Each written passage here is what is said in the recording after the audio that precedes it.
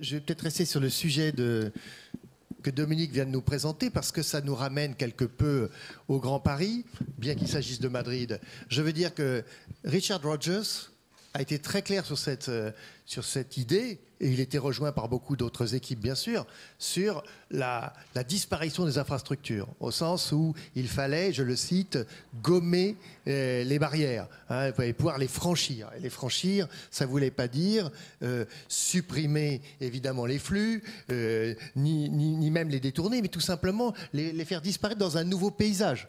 Et il avait cité d'ailleurs, comme exemple, l'expérience de la M30 à Madrid comme étant quelque chose qui n'était pas de l'ordre de l'utopie, mais une véritable réalité. Alors, euh, aujourd'hui, on a l'impression qu'en France, on n'a pas encore beaucoup travaillé sur cette question de l'infrastructure, euh, étant comme étant le, support. Alors, on ne va pas se mettre dans la situation japonaise de l'exacerbation de l'infrastructure comme étant un thème magnifique, les ponts habités, viaducs et autres, tout ça étant absolument passionnant, on est d'accord. Mais si on reste dans des logiques non asiatiques mais européennes, euh, est-ce que, euh, et là je m'adresser à, à, Jean-Marie, est-ce que précisément il est possible euh, que les infrastructures disparaissent comme à Madrid bah, Il ne faut pas que, si on dit que les infrastructures disparaissent, il ne faut pas qu'on dise que les gens qui sont dessus doivent disparaître aussi. Parce que cette grande, ce grand développement des tuyaux à travers la ville a eu quand même une influence très forte sociale sur l'image que les gens se font de la ville où ils habitent. Parce qu'aujourd'hui, euh, un grand Parisien, mais c'est sans doute vrai aussi pour un grand Nantais, euh, vous en avez peut-être parlé ce matin, euh, a une image très particulière de l'endroit, de la ville qu'il est censé pratiquer, puisqu'en gros, avec ses infrastructures cachées, donc qui lui cache la ville, il connaît un peu l'endroit où il habite aux environs, un peu l'endroit où il travaille, un peu l'endroit où il, le jardin qu'il aime, et puis euh, la maison de ses copains, et voilà. Et donc on a euh, un lien social qui repose aussi sur une perception commune d'un territoire qui est complètement saucissonné.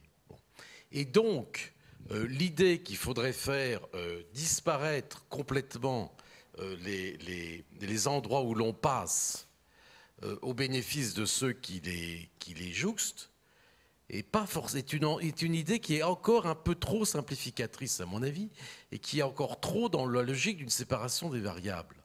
Euh, euh, je m'explique. D'ailleurs, on, y travaille avec Richard Rogers en ce moment sur le territoire de Charenton-Bercy, où euh, on travaille donc sur l'entrée. Tout ce territoire plein de voies ferrées où arrivent tous les TGV du sud-est de la France dans Paris. Bon. Et euh, euh, on travaille sur quelque chose de, plus subtil qu'une disparition. C'est-à-dire qu'on s'est dit, c'est en même temps euh, un quartier qui doit retrouver ses traversées, comme le montrait très bien Dominique tout à l'heure dans son projet, en l'occurrence à Charenton, nord-sud, etc., qui doit même occuper un certain nombre d'îles au milieu du ferroviaire, etc. Mais en même temps, c'est une entrée magistrale dans la capitale et donc où Paris se présente à ceux qui, l'accueillent. C'est-à-dire que sous ces entrées ferroviaires de ville, par exemple, aujourd'hui, sauf rares exceptions, la ville monte son, j'allais dire son derrière, mais enfin son arrière, euh, aux, aux, gens qui rentrent en chemin de fer. Euh, à Nancy, elle monte son avant. Quand vous arrivez à Nancy, vous avez une collection de, de villas de l'école de Nancy absolument merveilleuse. Bon. Et à Nancy, il y a une tradition du quai au bord du, chemin de fer, qui est un endroit de promenade et plutôt un endroit noble. Donc, euh, je ne crois pas qu'on puisse, qu'on puisse euh, trancher, une fois de plus, de façon générique, sur l'infrastructure de disparaître ou l'infrastructure ne doit pas disparaître. Il n'y a que des projets spécifiques en matière d'infrastructure. Ça, je crois que c'est fondamental.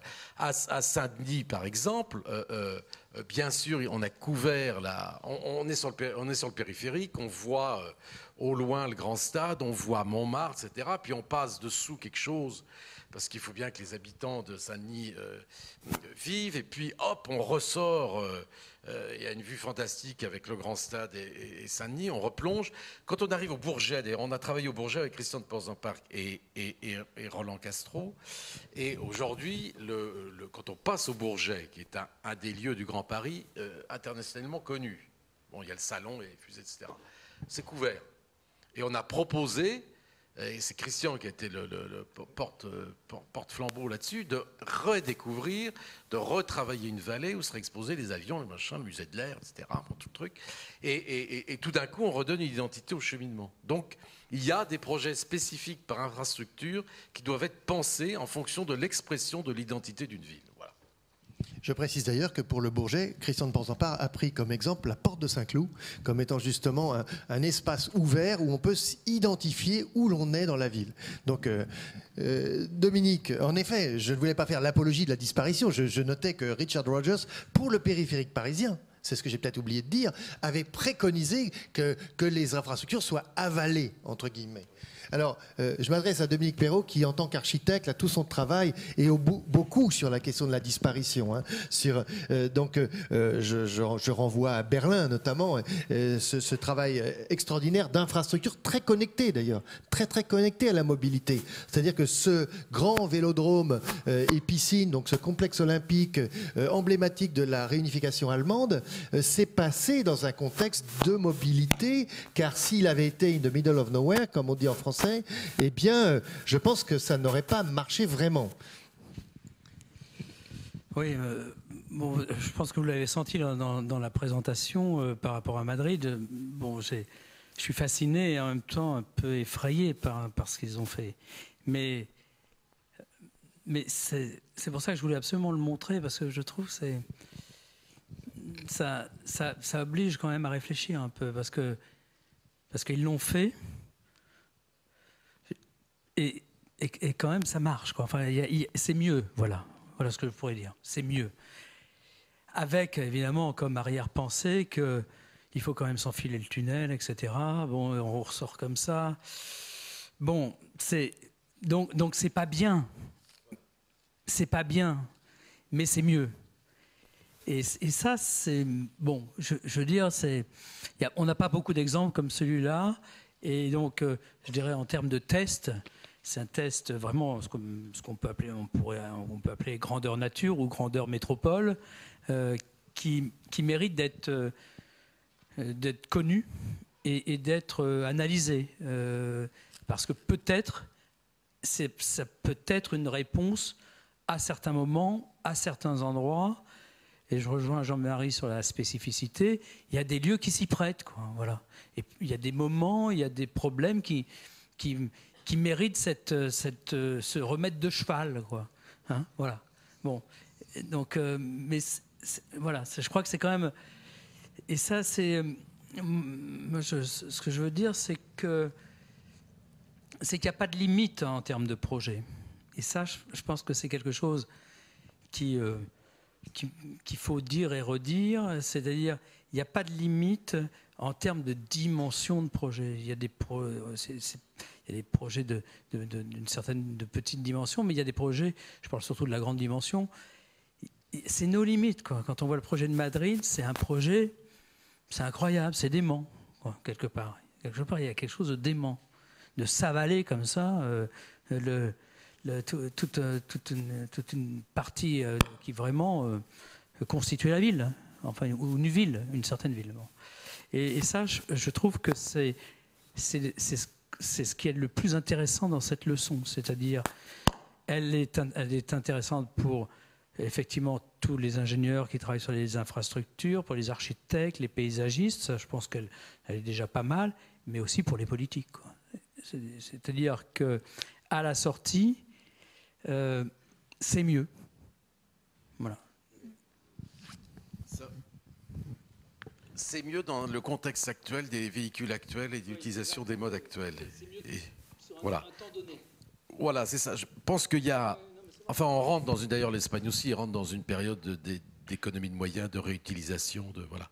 Et on, voit bien que. Euh, enfin, c'est quand même un truc. Euh, c'est un tuyau à voiture. La voiture, dans 15 ans, c'est quoi? On a fait. On a réfléchi, par exemple, dans le Grand Paris, on réfléchissait avec, avec Yvion sur c'est quoi l'autoroute A4 le jour où ça fait plus de bruit? Où il n'y a plus que des voitures électriques, euh, bon, où euh, l'autopartage fait que euh, le trafic a diminué. Comment ça se passe sur la 86 si je mets des vélos, si je mets des bus avec des stations, etc. Donc il y, a aussi, il y a aussi tout un champ extraordinaire de réflexion sur la réutilisation intelligente, simple, de, ces, grands ouvrages. Quoi. Bon.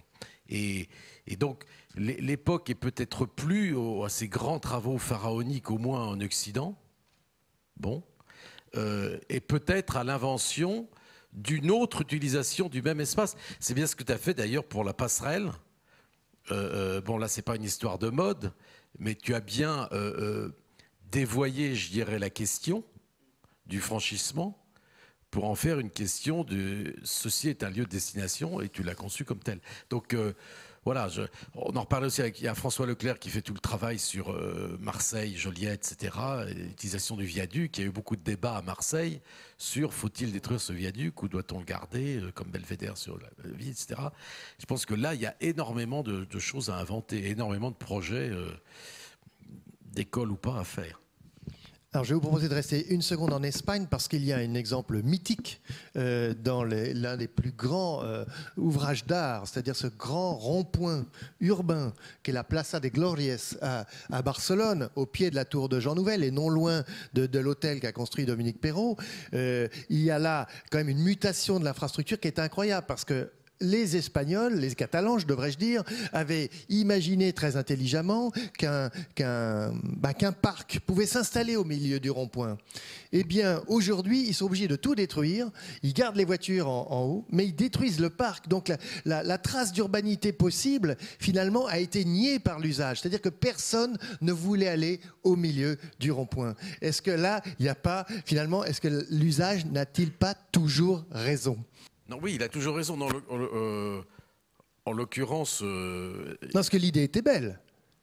Un parc au milieu de l'infrastructure. Ben, ça dépend comment on y va, quoi. C'est comme le square de le square de la place d'Italie. On pouvait y aller à pied. Ou le square de la Porte Maillot. oui, mais ça suffit pas. Ah.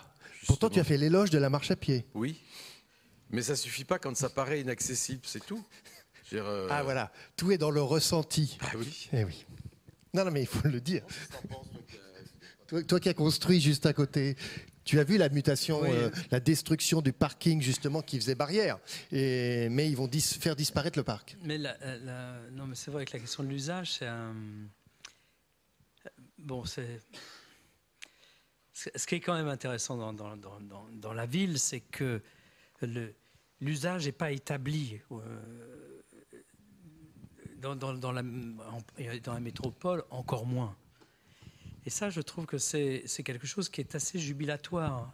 Bon, ça, peut être inquiétant, même un peu angoissant, parce qu'il n'y a pas une détermination comme nous, le, nous l'a proposé euh, la ville historique, où il y avait des usages qui étaient déterminés, ou tout au moins suffisamment euh, euh, balisés, identifiés pas seulement euh, physiquement, mais aussi euh, euh, culturellement, et qu'il y avait un mode une espèce de mode d'emploi, bon, qui était qui était assez qui était assez magnifique, mais assez réduit.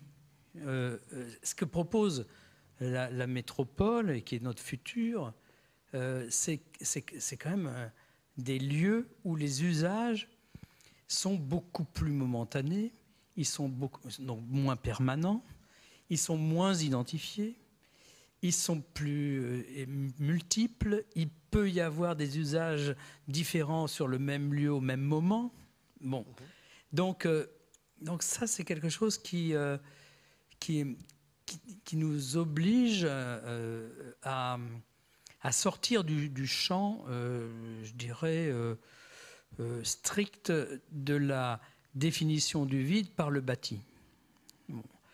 C'est-à-dire que on, est dans, une, on, a manipulé une matière qui est plus, j'allais dire plus, plus plastique quelque part, enfin au sens de la, parce qu'elle est peut-être un peu plus abstraite aussi, et dans, la, dans, laquelle on peut injecter euh, des relations, des usages qui sont euh, qui sont pas prévu ou tout au moins pas identifié. Et c'est le, truc de Madrid, de Madrid, pas de Madrid, de, Barcelone. Il est, un, il est un peu mièvre, quoi, quelque part. Le, coup, euh, donc je fais un jardin sous, un, sous, un, sous une infrastructure, je trouve que c'est assez ringard, quoi, quelque part. Voilà. et c'est pour ça que ça marche pas. Euh, parce qu'il n'y a, y a, pas de, a pas de notion de, de qu'est-ce ce vide, c'est quoi? Comment je peux me l'approprier? Comment je peux me le détourner? Comment je peux le prolonger? Comment je vais euh, peut-être ne pas l'utiliser? Parce que peut-être c'est formidable de ne pas y aller. Mais pour, enfin, je veux dire, on n'est pas forcé d'aller partout, quoi. Donc, euh, donc c'est ça que, je trouve vraiment très intéressant dans, dans la question métropolitaine. C'est-à-dire que ça, ça, ça, ça, nous, ça nous permet euh, pas seulement l'expérimentation, mais, mais la euh, la, possibilité du possible. quoi. C'est-à-dire que euh, c'est lorsqu'on fait quelque chose, moi je dirais qu'il faut certainement avoir plusieurs raisons de le faire aujourd'hui. Et pas forcément des raisons qui sont cohérentes entre elles. Donc c'est ça qui est, assez... je trouve c'est une assez belle époque. Quoi. Elle, a, des difficultés, comme on peut le lire tous les matins ou l'entendre, mais elle a d'autres côtés qui sont enfin, qui sont inouïs. Quoi. Je crois que c'est, extraordinaire. On, est, on est devant quelque chose d'extraordinaire. Et je, dirais que cet extraordinaire, il a, même une valeur qui est, qui est, qui est au-delà de ce qu'on pouvait imaginer, puisque euh, l'humanité est dans une situation où elle ne découvrira pas d'autres hommes sur la planète, elle les connaît tous, et elle ne découvrira non plus pas d'autres territoires, elle les connaît tous. Donc elle est dans une situation qui est très intéressante, c'est-à-dire qu'elle est obligée de se regarder elle-même, elle se connaît elle-même, et en fait, il y a, une espèce d'introspection, enfin de, travail sur, le, sur, sur ce monde fini, ce monde connu, dont l'avenir est en lui-même. Donc c'est non, c'est pas mal, je crois. on, a, on a de quoi, quoi s'occuper, enfin, pour quelque temps, je pense. Euh, garde le micro une seconde. Euh, pour sortir du monde, en effet, des, transports, euh, il se trouve que dans le dernier projet que tu as réalisé en Corée, précisément, c'est d'abord une rue avant d'être une université.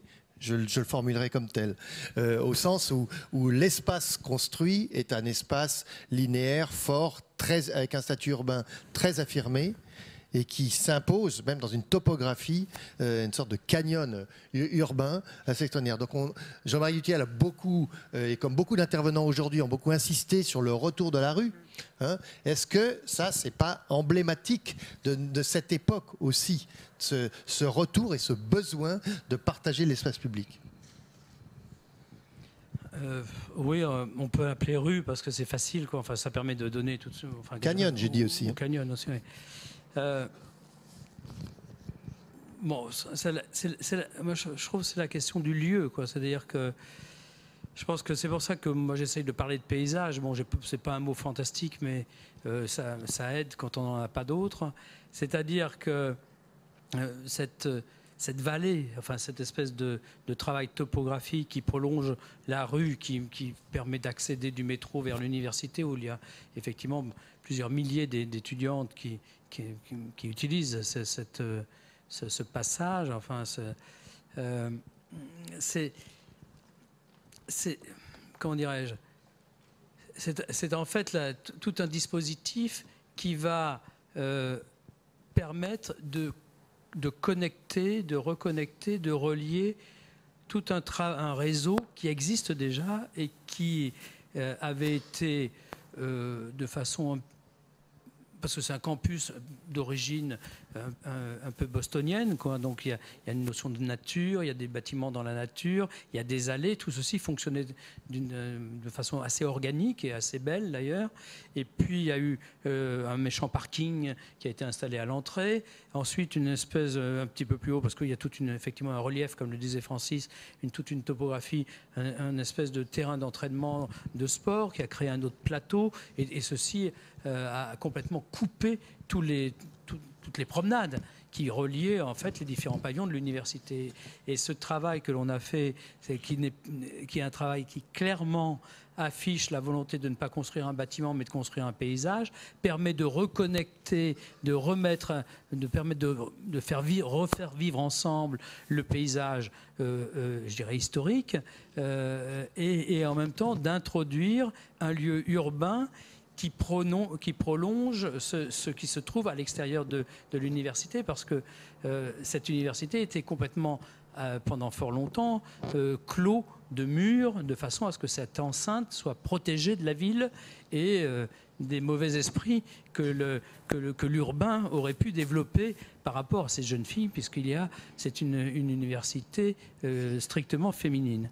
Donc euh, là, c'est, l'introduction plutôt du paysage comme un dispositif qui va permettre de relier, de gommer, de, enfin bon, je veux dire, c'est pour ça que la notion de rue, elle est vraie à un, point donné, elle n'est pas vraie lorsque l'on lorsqu'on commence à, je dirais, à, se promener et à avoir d'autres points de vue. Et c'est ce qui est fascinant dans, dans ce projet, c'est-à-dire qu'il a euh, une urbanité qui apparaît et qui disparaît. Et c'est ce que j'évoquais tout à l'heure. C'est pour ça que ça marche. C'est pour ça que c'est extrêmement contemporain. Parce qu'il est et il n'est pas. Parce qu'il il, il, est ouvert et il est fermé. Parce qu'il est privé, mais en même temps il est public. Il est urbain, mais en même temps il est de l'ordre du parc. Et, et cette espèce de passage permanent entre un statut et un autre, entre le public, le privé, l'intime et le collectif, etc. C'est ça la, modernité de, enfin, je pense d'aujourd'hui. C'est ce que propose la passerelle à Madrid, c'est qu'elle est effectivement, comme je disais tout à l'heure, un, ouvrage de génie civil, mais c'est en fait euh, une place. C'est un lieu d'entrée du parc, mais c'est en fait un lieu de liaison des deux côtés. C'est un, un ouvrage de génie civil, mais en même temps il est complètement domestique. Enfin, euh, c'est cette espèce de, de, capacité que l'architecture a euh, à proposer des, du, du, sens et du contresens, moi je trouve ça, euh, enfin moi ça me ça m'intéresse voilà. Alors justement, Jean-Marie, il y a un mot qui, revient beaucoup là depuis ce matin, c'est le mot topographie. Et j'ai présenté moi-même ce, matin dans mon introduction, notamment le bâtiment de Yokohama, donc le, le terminal des ferries, qui est avant tout un espace public à 100 et c'est ça qui est intéressant. Et cet après-midi, euh, ou plutôt en fin de matinée, euh, euh, Philippe Gazot nous présentait le travail sur Rennes, qui, si je puis dire, est une non-gare, apparemment. C'est une non-halle, au, sens où c'est d'abord une topographie, c'est d'abord un espace public. Est-ce que là, il n'y a pas une tendance montante, forte? Je ne parle pas uniquement de la végétalisation, là, je parle bien de la topographie, parce que c'est bien le propos qui vient d'être tenu, de créer une nouvelle topographie. On a bien vu Barani répondre à une topographie, mais là, on parle de bâtiments qu'ils sont une topographie. d'abord, euh, ce que tu viens de dire est contradictoire avec ce que dit Dominique, parce que Dominique dit que l'architecture euh, euh, met en place une réalité qui, lorsqu'on l'examine de façon rationnelle, s'exprime de façon paradoxale. Bon. Donc, c'est une topographie, c'est pas une topographie. Voilà. Voilà. Donc, faut partir de là. Et je pense que, enfin, ça, c'est un retour. Dominique a raison de, parler de ça parce que euh, c'est quelque chose qui, enfin cette démarche de l'architecture comme réponse à une question apparemment insoluble, c'est quelque, c'est une, c'est l'essence même de ce métier et, et, du projet, mais ça a été quand même énormément laminé depuis des dizaines d'années par la notion, par les, démarches euh, euh, d'organisation de la maîtrise d'ouvrage, notamment publique, euh, disant voilà, il faut faire un programme, puis un projet, et puis une réalisation. Et les, programmations sont en général. il y a peut-être des programmateurs ici, je suis embêté. Les programmations, en général, gobent les contradictions. Alors qu'un vrai programme doit s'exprimer exprimer une question de façon apparemment, rationnellement, totalement insoluble. Et c'est à ce moment-là qu'on peut être à peu près sûr qu'on a fait le tour de la question et que l'espace du projet euh, existe. Je pense que ça, il faut insister là-dessus.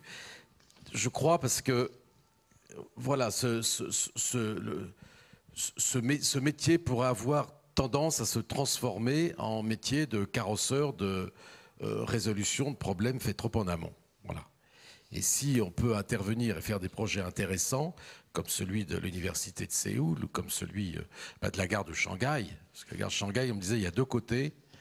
Il y a deux côtés, voilà. Donc il y a un côté noble, puis un arrière, mais il faut faire deux gares. Mais il faudrait que les deux gares soient quand même nobles et que ça soit deux avant. Et donc, euh, voilà, parce qu'en même temps, on ne veut pas qu'il y ait un quartier arrière, un quartier avant, parce qu'il y a aussi une question d'argent, tout ça, ça a la même valeur, etc. Et là, la, gare ronde a résolu le problème parce qu'il n'y avait plus d'avant, d'arrière. Euh, voilà, il y avait un objet qui tout d'un coup s'est mis à ennoblir le site. Donc, Gardons-nous des, réponses rationnelles aux questions. Euh, gardons, s'il vous plaît, les énoncés paradoxaux des projets. Donc, pour revenir à ce que tu dis, effectivement, on est toujours dans, la, ville contemporaine et ses réseaux, et bien entendu, toujours dans, les trois dimensions. Bon. Et euh, le, sujet de la ville, c'est le sujet de savoir comment j'exprime un ou des lieux euh, dans toutes ces un lieu en relief euh, euh, qui crée un, espace de dignité, un espace de noblesse au milieu de l'ensemble des réseaux. C'est ça souvent le sujet. Rennes, c'est ça le sujet. Le sujet, c'est qu'il y a une ville haute, une ville basse, un train au milieu, des voitures, etc. Et que, euh, que Philippe Gazot et, consorts proposent un relief qui, euh, qui par l'identité qu'il propose, effectivement, fait oublier qu'il y a une ville haute et une ville basse, et crée une continuité. Yokohama fait simplement, fait, met en place un, non seulement un relief, mais également un traitement de celui-ci, qui marie tout simplement les voitures, les piétons, les lieux où l'on passe, les lieux où l'on reste. Yokohama, c'est un lieu de contemplation, c'est un lieu de départ, c'est un lieu pour les gens en voiture, c'est un lieu pour les gens à pied, c'est un lieu pour les gens pressés, c'est un lieu pour les flâneurs, etc. Et donc, c'est le relief qui crée cet espace-là. Et c'est cette sculpture dans l'espace qui crée cet espace-là. Donc, euh, donc ça, c'est la ville contemporaine est forcément autour des mobilités dans des topographies particulières qui créent l'identité du lieu. Voilà. C'est une nécessité absolue. Garde le micro, parce que tu nous as montré beaucoup de gares. Et il y a un mot que tu n'as pas utilisé, ça m'a frappé, c'est le mot espace piranésien. Or, euh, tu nous as montré des espaces en profondeur. J'ai moi-même montré ce matin la, gare de Berlin qui croise les réseaux et autres et qui suspend des trains, qui suspend des trains, comme tu le sais bien. Et euh, euh, je me souviens de Rem Koolhaas, et j'ai montré les images de l'espace piranésien tel qu'il avait imaginé dans, dans, ses dessins façon BD en 94, avec l'espace piranésien que vous avez travaillé ensemble. Donc, est-ce que c'est quelque chose qui disparaît du vocabulaire, ça, ou au contraire, c'est quelque chose qui, dans la, densité de la ville, va au contraire reprendre encore plus de vigueur? Non, mais c'est. C'est cette manière de vivre l'espace se banalise. Quand avec, avec Remkoula, c'était une nuit à Rotterdam, il voulait absolument mettre la station de métro sous le TGV. Et il trouvait ça furieusement fun qu'on euh, prenne un escalier mécanique qui passe à travers les quais donc on aurait aperçu la porte du TGV, on devait monter, puis qui monte directement en haut, et après que les gens redescendent et re-rentrent dans le TGV. Et je trouvais ça extraordinairement frustrant pour les gens de faire comme ça. Et à un moment, sur une coupe, je lui dis non, on va mettre métro à côté, on va faire un grand trou, ça fera un grand espace piranésien. Il c'est quoi ça? Et bon, il n'avait pas vu simplement que c'était l'adjectif de Piranèse. Bon, quand compris Piranèse, évidemment, bon, on, voilà, on, part sur, on part sur Piranèse. Mais cette idée que euh, euh, le, les, modes de transport et leurs infrastructures pouvaient être hébergés par des espaces monumentaux était encore à l'époque, on était en 90, euh, tout à fait hors de la culture commune tous, ces espaces du transport conçus par des bureaux d'études effectivement extrêmement, extraordinairement compétents n'étaient pas conçus comme des architectures, comme des espaces à vivre. C'est-à-dire que euh, euh, quand les, différents RER e sont faits dans Paris, euh, les ingénieurs parlent de la boîte, déjà, voilà, on met les gens en boîte. et puis ils creusent des grands trous et ils se disent oh là là, mais ces grands trous, c'est totalement. Qu'est-ce qu'on va en faire? C'est inutile. Alors on coule des planchers dessus, voilà, et on fait des. Et donc euh, on, a, eu des gares absolument tragiques. On avait des espaces merveilleux, mais qui ont été euh, euh, bourrés de, planchers, ne servant pas à grand chose d'ailleurs, sans grande signification. Donc l'idée que le vide. Alors là, on est dans le plein dans le thème de Dominique. Que le vide au-dessus d'un métro à 30 mètres a une valeur en tant que en tant que, qu'espace signifiant, en tant qu'espace euh, donnant une dignité au lieu, euh, c'est une idée très récente. Et encore aujourd'hui, on se bat. C'était intéressant de voir ce qui se passe sur le métro du Grand Paris. Donc, le métro du Grand Paris, a des études préliminaires. Donc, euh, il y a eu des, des premières études préliminaires. On a un certain nombre d'architectes avec Yves Lyon, etc., à travailler les premières, euh, premières, premières stations. Et aujourd'hui encore, dans la culture de, ceux qui commandent ces stations, ou de, bureaux d'études qui les font, ils trouvent ça furieusement, furieusement du gaspillage d'avoir des stations à 20 mètres de haut avec juste le soleil comme témoin. Et c'est tout. On fait la tranchée, on met trois butons et on couvre ou on couvre même pas d'ailleurs. Et puis c'est un lieu de la ville. Voilà. Ça, c'est encore pas dans les mœurs. Donc, mais euh, je crois que. Alors, j'ai pas employé Piranèse, c'est peut-être une déformation. Parce que je crois que pour faire comprendre cette idée, faut surtout pas dans cette technostructure-là euh, dire euh, voilà, ça va être merveilleux ça va être comme ces dessins de Piranèse qui nous font rêver. Je crois qu'il y a d'autres moyens. Alors ça, c'est les démarches de projet utilisent d'autres voies. On est dans une société où, enfin, je pense que tu partages ça pour convaincre du projet. Il faut, selon les endroits où l'on est, utiliser les métaphores, euh, les métaphores adaptées. Alors Dominique, oui. Moi, je voudrais euh, poursuivre sur, la, sur ce que tu disais sur la, en fait, la pénétration de la lumière naturelle dans le, dans le sol. Bon. Ça, je, trouve que c'est quelque chose qui est. Euh, peut le mot dignité, effectivement. Je trouve qu'il y a une. C'est même. Enfin, d'un point de vue psychanalytique, c'est même. Peut-être ça va même au-delà. Enfin, je trouve que c'est une façon presque salvatrice d'un lieu qui était considéré comme sale. C'est-à-dire que enfin, moi, je, le dis souvent, le, mouvement moderne, pour moi, est un mouvement, et le Corbusier le premier, est un. Enfin, pour moi, le Corbusier, c'est un homosexuel qui s'est jamais assumé. Donc, euh, c'est ce pour ça que j'ai pas eu énormément de sympathie pour lui, mais enfin bon, mais c'est pas très grave, ça, pas, ça peut, ça peut s'arranger. Toujours est-il que sa relation qu'il a avec ce qui est sensuel, avec le sol en particulier, et le mouvement moderne euh, euh, se positionne comme ça, enfin, moi, c'est un mouvement extrêmement puritain, c'est-à-dire qui, ne touche pas le sol. On construit des pilotis, des colonnes, on isole les, réseaux, on isole le piéton circule au-dessus, etc. Donc le, sol est en fait un territoire qui, euh, a été évacué par le, mouvement moderne dans sa vision physique de, de, de la ville et de l'aménagement du territoire. Et ce qui est je trouve vraiment euh, passionnant dans la, dans la transformation de, la ville aujourd'hui, c'est cette, cette capacité à donner à cette espèce d'épiderme euh, euh, que, constitue le, sol de la ville et le, sol d'une façon générale, de lui donner une valeur de vie, une valeur de qualité, euh, qui, peut, qui va permettre justement de, d'augmenter notre territoire, de, de, le, de, l'enrichir, de, de, multiplier les relations et, de, et de trouver aussi euh, et, de mettre en place des lieux qui physiquement sont des lieux euh, dans lesquels il y, a, il y a effectivement perception, émotion, parce qu'il y a l'introduction de la lumière naturelle. Ces lieux souterrains, et j'en ai construit quand même quelques-uns, euh, sont des lieux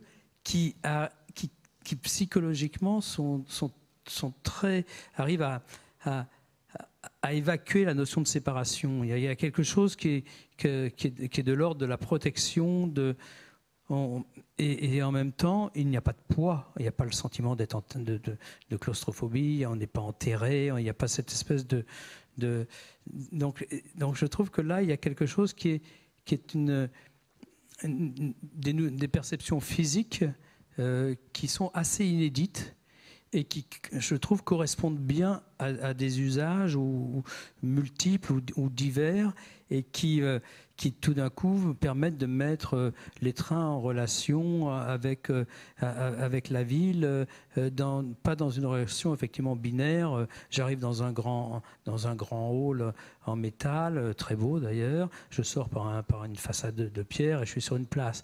Et, ça, je trouve que c'est dans, ce que tu nous as montré. Enfin, il y a, des dispositifs qui sont, euh, moi je dirais pas pyrénésiens, parce que je les trouve plus, plus horizontaux que, que, verticaux. Et je trouve ça vraiment très, très intéressant et important à, cultiver, si je puis dire, parce que ce sont des vrais lieux d'enrichissement et qui touche les questions de densité, qui touche euh, l'idée de, non-étalement, qui permettent d'aller... Euh, parce qu'on dit toujours si on surélevait les immeubles de deux étages, mais on pourrait aussi dire, euh, on pourrait aussi les, creuser de deux étages. Donc, donc l'un n'exclut pas l'autre.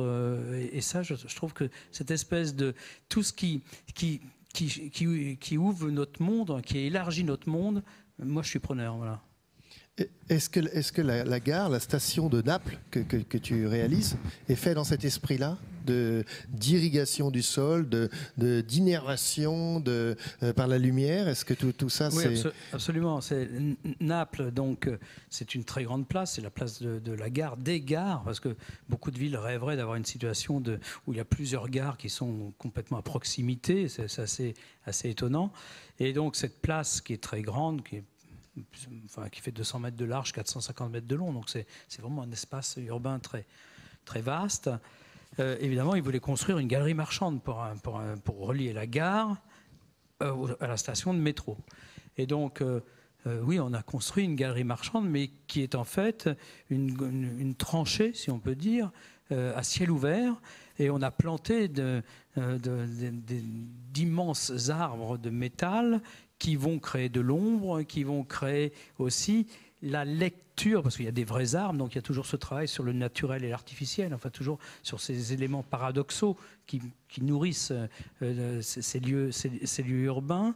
Et donc euh, ces arbres que l'on voit sortir marquent qu'il y a profondeur. on voit bien qu'en plus ils sont artificiels, donc on s'en approche, on découvre qu'il y a cette, rue creusée qui est en contrebas, on y descend et on peut aller encore plus bas, euh, effectivement, avec la lumière naturelle. Et, alors là, un système pyranésien, parce qu'on descend à 40 mètres, avec des systèmes d'escalators croisés, mais de façon tout à fait, enfin, comme Perrault sait faire, c'est-à-dire que quand il commence, il le finit. donc il, va du haut en bas avec le même, parfaitement le même rythme. Et c'est vrai qu'il y a une dynamique du passage de la lumière qui lui est effectivement euh, donc euh, à l'ombre, enfin tout au moins sans lumière naturelle, par euh, un, ensemble mobile, puisque ce sont des escaliers mécaniques. les matériaux sont, beaucoup, sont assez réfléchissants. Donc on, est dans un espèce de, de, de, monde presque aquatique, quelque part, avec cette lumière naturelle. Donc ça, c'est Naples en cours de route. Très bien, on verra ça bientôt. On va peut-être ouvrir les questions à la salle, parce que vous nous écoutez depuis ce matin, donc j'imagine qu'il y a quand même des questions qui vous taraudent. Et là, comme on a deux architectes qui travaillent sur la grande échelle et sur des très grands projets, je pense qu'il ne faut pas se priver de l'occasion de les interpeller. Euh, euh, qui commence? Je voulais savoir si vous aviez travaillé ou, comment est-ce que vous pensez, si vous pensiez que, comment dire, qu'on pouvait aller plus loin dans cette idée de, de voiture 4 euh, du train, voilà, du TGV on a, on a fait un concept train. Euh, on nous a commandé un concept train il y a quelques années. Euh, parce qu'il y a des concept cars, mais il n'y avait pas de concept train. Parce qu'on râlait, on râlait sur la façon dont, dont sont installés notamment les trains, ce qu'on appelle les trains de banlieue, quoi. les trains où on vit souvent euh, trois quarts d'heure le matin, trois quarts d'heure le soir, et où on a plein de choses à faire. Et donc on a, on a travaillé à partir de, scénarios et de postures de gens qu'on a beaucoup observés, partant de chez eux le matin ou revenant le soir, en regardant ce qu'ils faisaient. Vous savez, la fille, qui s'est finie de se maquiller sur le quai parce qu'elle n'a pas pu machin, de se coiffer, le type qui pianote son ordinateur, l'étudiant qui révise son cours, les trois copains qui tapent le carton, etc. Et euh, on s'est dit, euh, ces gens-là, d'abord sur le quai, il faudrait. Là, on travaille sur des concepts quais aussi. Euh, mais il faudrait aussi, sur ce foutu quai du matin, ce qu'on appelle le quai du matin, le truc où on reste.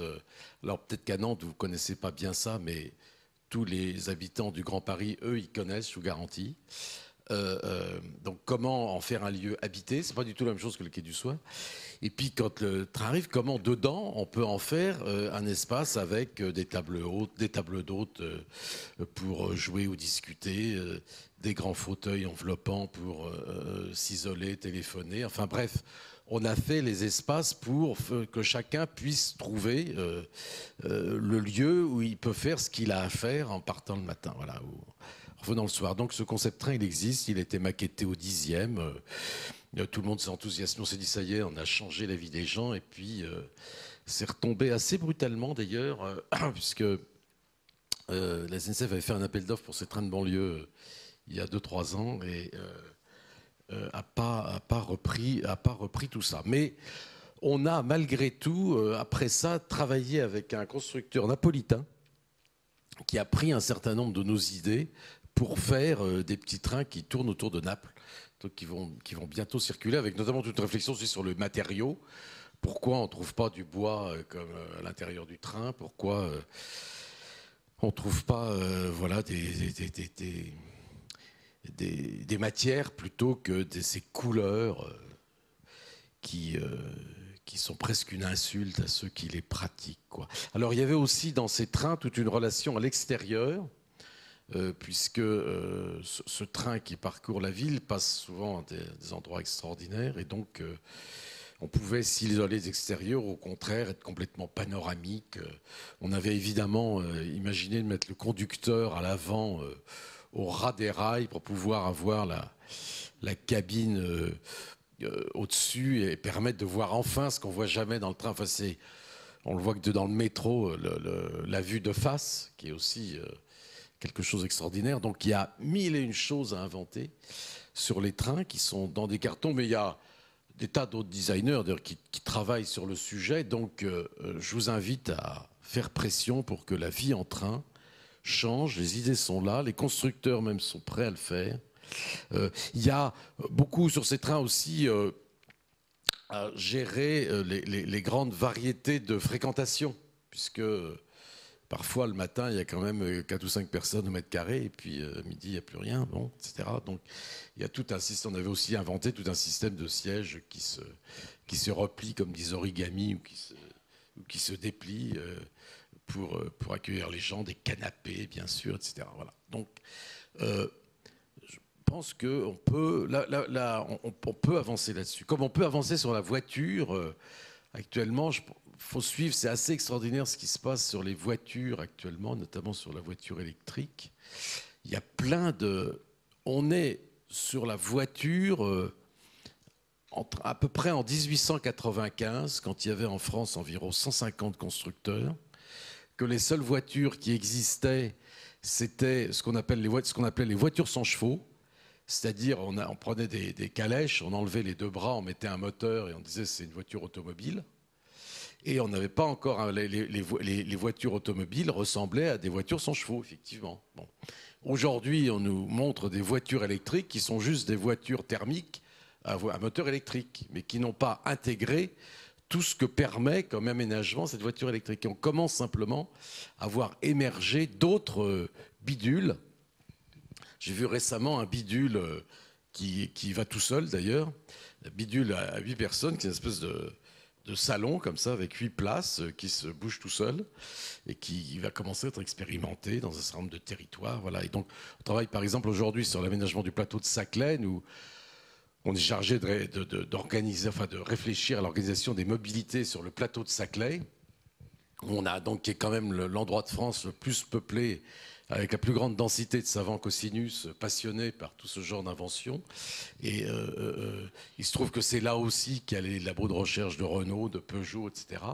Et donc, euh, on, pense par exemple que sur ce territoire, on pourra on pourra voir une autre manière de prendre le métro parce que euh, on est en train de faire le, enfin, il va se faire le métro Orly, Orly Versailles là, ou d'autres moyens de prendre la voiture. Donc vivre euh, en mouvement autrement, c'est c'est à l'aube de quelque chose. Et c'est un travail d'architecture, simplement un espace public qui se déplace, mais c'est quand même euh, un espace public. Alors moi, c'était, euh, bah, une question si on peut dire. C'est qu'on a parlé donc de centralité au pluriel et de mobilité à, comme au singulier. Euh, on a beaucoup parlé des, gares et en fait de la, du, comment on passait euh, comment, de l'extérieur d'une gare à une gare ou d'un point de connexion. Hein. comment on accédait à ce point de connexion Comment on connectait ce, cet endroit où ben, où on a, où on fait de la mobilité.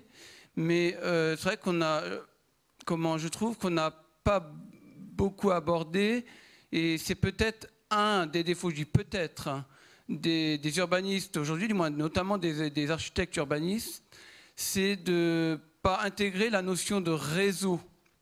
Réseau, notamment de transport collectif, par exemple, dans, ces schémas-là. Parce que c'est vrai qu'on se rend compte, par exemple, aujourd'hui on le voit sur l'île de Nantes, où il y a le grand débat euh, de la traversée de la Loire entre Chantenay et euh, du moins ce qui était l'ancienne gare de l'État. Et on se dit aujourd'hui, mais euh, on réfléchit beaucoup à, à la structure gare, mais je trouve qu'on ne réfléchit pas à la structure réseau. Que ce soit réseau, par exemple, euh, transport collectif de Nantes Métropole, mais aussi à l'échelle de l'aire urbaine et après à l'échelle euh, régionale. Donc moi j'ai l'impression qu'on aussi à la fois qu'on loupe quelque chose. Il y, a, la structure de, de, déplacement entre justement ces pôles-là, entre ces gares-là, entre ces points de connexion et entre, entre en fait le, lieu où la personne va travailler et le lieu où elle habite son domicile. Donc moi j'ai l'impression que tout ça, on ne on, fait pas le lien de tout ça. Je...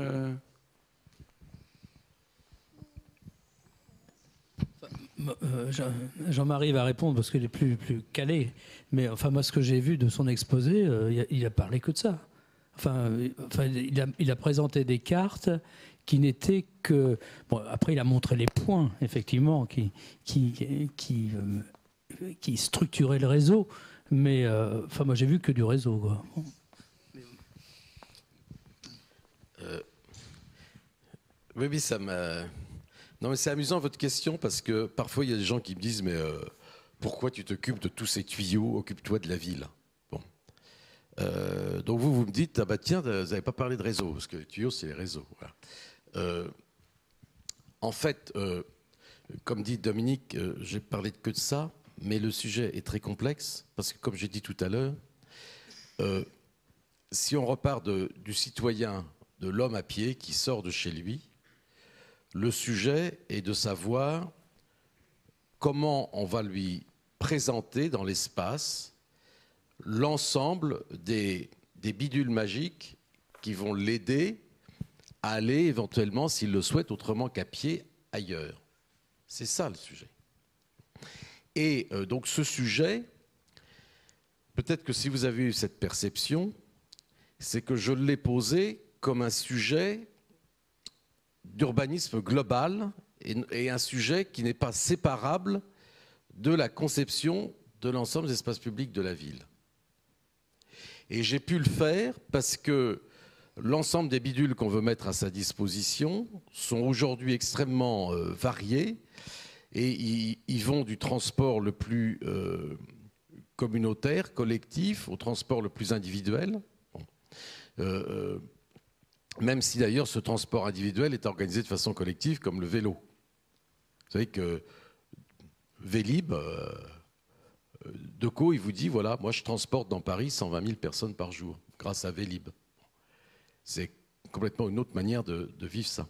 Et donc, le sujet qui se pose aux, concepteurs euh, qui interviennent sur la ville, c'est euh, le sujet extrêmement complexe de savoir comment, euh, pas à pas, espace par espace, rue par rue, avenue par avenue, se présente l'ensemble de ces modes qui vont être offerts aux gens. C'est ça le sujet.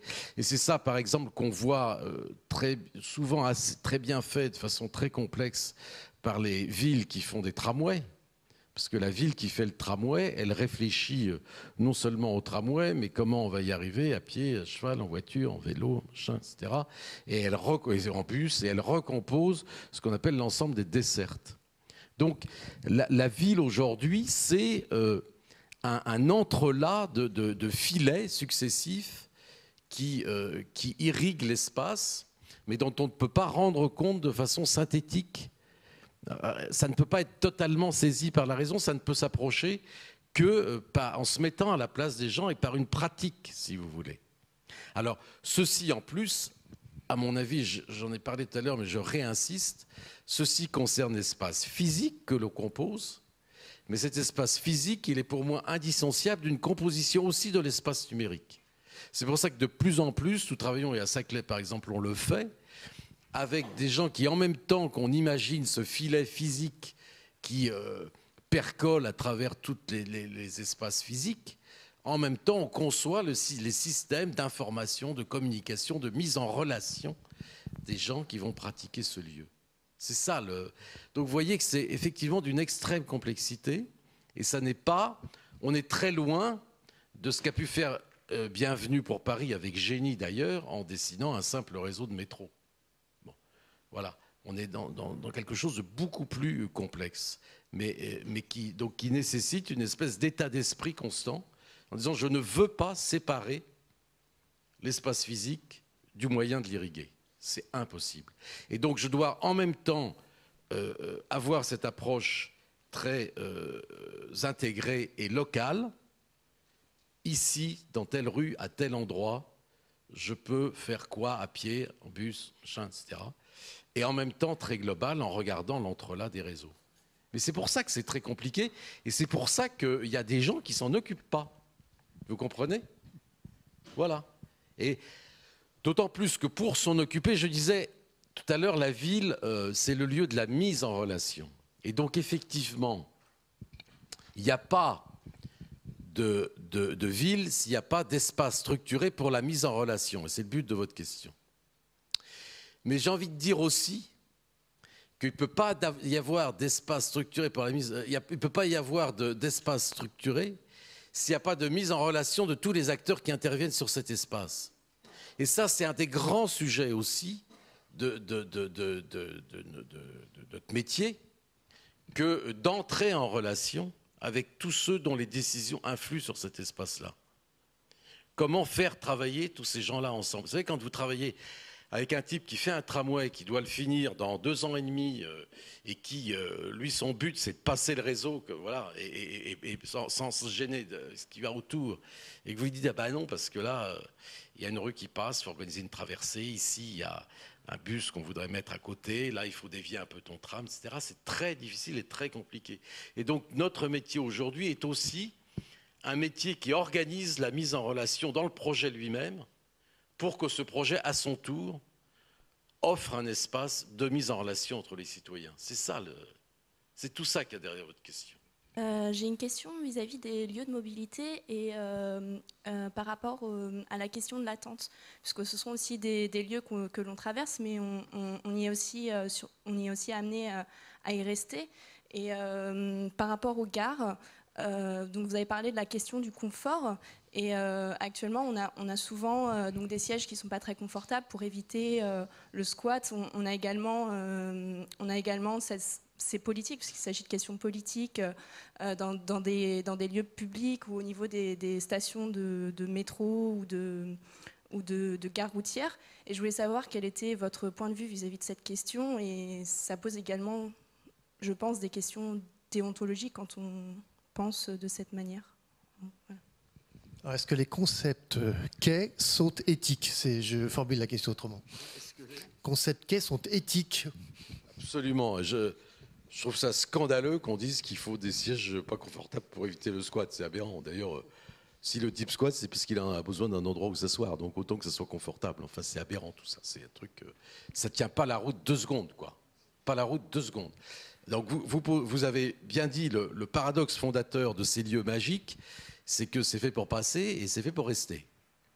Et la, magie une gare, c'est un peu comme un port, vous savez. euh, voilà, je viens là parce qu'il y a, voilà, là, je peux rêver qu'il y a un ailleurs possible, meilleur et tout, de l'horizon, de l'autre côté de la mer. Voilà, et puis je viens dans la gare parce que je pourrais partir. Et comme je suis libre de partir, du coup, bah, j'ai envie de rester. Il, y a, cette magie comme ça, du lieu entre, voilà, il est entre la ville et le voyage. Et je suis encore en ville, euh, mais déjà en voyage. Et donc, euh, et donc, c'est effectivement un lieu où, d'ailleurs, de plus en plus, on constate qu'on reste. Quand je disais tout à l'heure, le Bourget, c'est une place publique. euh, Comme on y vient de partout, on a envie d'y rester, quoi. Et donc, il y a toute cette réflexion sur c'est quoi le confort d'un espace public qui est euh, à la fois dehors et dedans. Qui est, c'est quoi, par exemple Nous, on travaille beaucoup, par exemple, sur le confort climatique.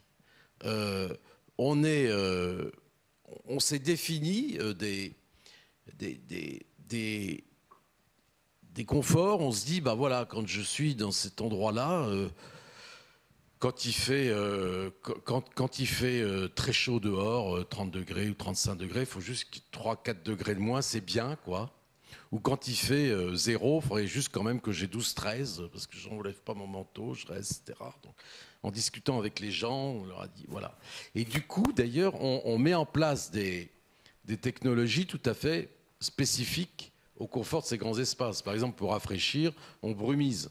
Stras- Strasbourg, c'est brumisé, Marseille, c'est brumisé. euh, Donc l'eau, il faut juste l'envoyer assez haut pour qu'elle ait le temps de s'évaporer et de laisser le froid tomber, euh, sinon il pleut.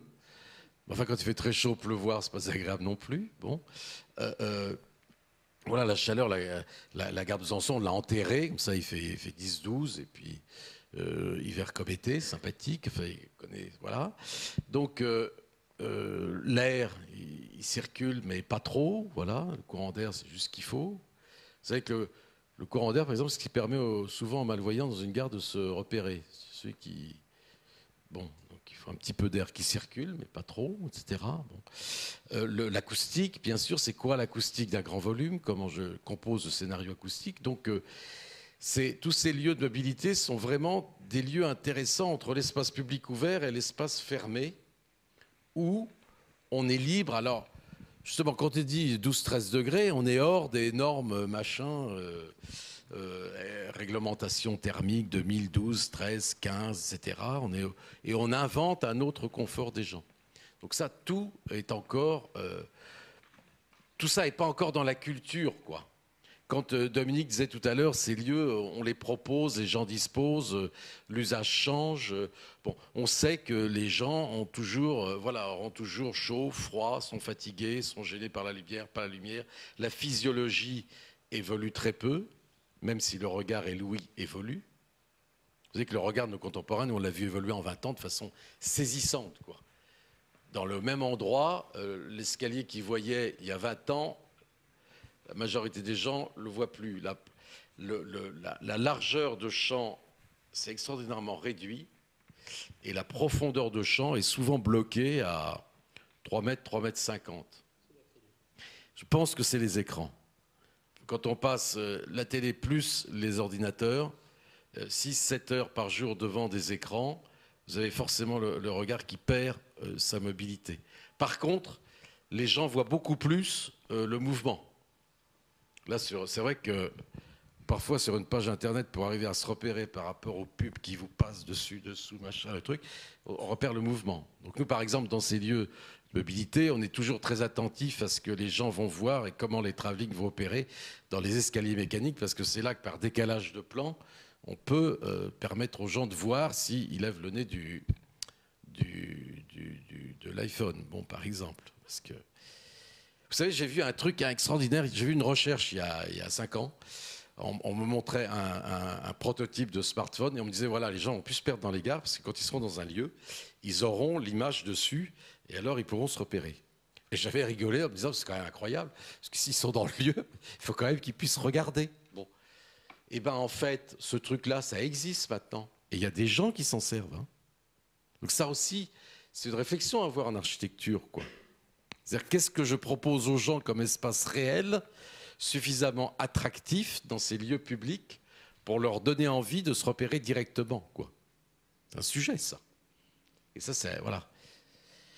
Donc ça va au-delà. Donc euh, voilà, ça va au-delà du, de, effectivement du- du confort d'assises, etc. Mais donc il y a énormément d'évolutions culturelles à mettre en place sur le confort de ces espaces euh, publics que je dirais intermédiaires, qui d'ailleurs envahissent euh, petit à petit beaucoup d'autres lieux de la ville, ces espaces intermédiaires.